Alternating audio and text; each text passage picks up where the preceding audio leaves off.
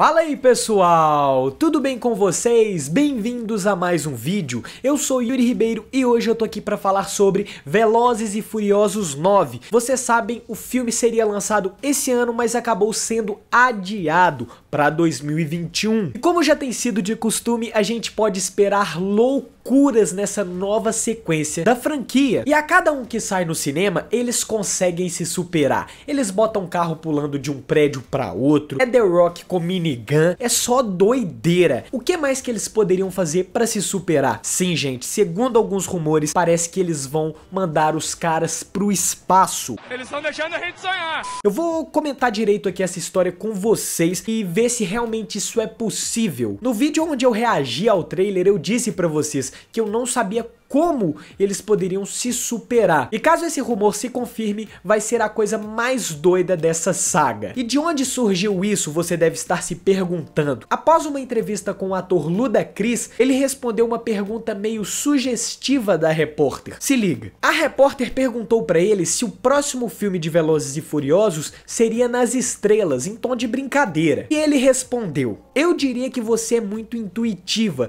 porque você disse algo certo, mas eu não vou contar. Ou seja, gente, o ator nem confirmou, mas nem negou. Ele tá deixando sim as portas abertas para isso acontecer. Foi daí que surgiu toda essa teoria e esses rumores. E eu vou aqui para minha opinião, então. Será que isso vai acontecer? Eu acho totalmente possível, porque eles já pularam de carro do avião, de um prédio para outro, só doideira mesmo. Então seria bem plausível sim para Velozes e Furiosos. Mas tem um ponto que vai contra isso. Por que, que eles não mostrariam essas cenas no trailer? Seria uma ótima forma de marketing, porque a saga Velozes não tem muito costume de ficar escondendo coisas no trailer não. Inclusive o que foi lançado foi até bem grande, mostrou muitos detalhes, muitas cenas e nada com espaço. Pelo menos não que eu me lembre. Então se a gente for pensar dessa forma, a teoria perde um pouco de força sim, mas eles podem estar fazendo uma surpresa. E quem sabe quando for chegando mais próximo do lançamento, eles revelem isso pra gente. Isso é totalmente possível, galera. Depois disso, eu não sei para onde eles vão. Como superar uma proeza dessas? Não sei. Eu não sei e eu gostaria até que você comentasse aqui embaixo que ideia seria interessante de doideira mesmo para eles fazerem um Velozes 10, por exemplo. Porque há um tempo atrás aí, eles revelaram que o décimo será o último. Então eles têm sim que preparar uma das maiores proezas da história pro final, né? Mas agora eu quero saber de você.